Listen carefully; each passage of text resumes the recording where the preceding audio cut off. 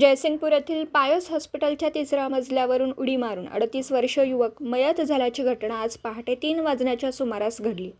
हार्दिक प्रकाश रुपाणी वय वर्ष अडतीस राहणार गल्ली नंबर सहा यड्रावकर ऑफिस शेजारी जयसिंगपूर असं मृत युवकाचं नाव आहे. याबाबतची जयसिंगपूर पोलीस ठाण्यात आत्महत्येची नोंद झाली आहे. याबाबत घटनास्थळ व पोलिसांमधून मिळालेली माहिती अशी की जयसिंगपूर पायस हॉस्पिटलमध्ये मृत युवकांचे वडील यांच्या पायावर उपचार सुरू आहेत.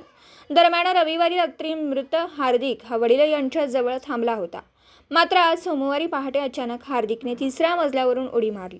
यामध्ये तो गंभीर जखमी झाल्याने त्याचा मृत्यू झाला.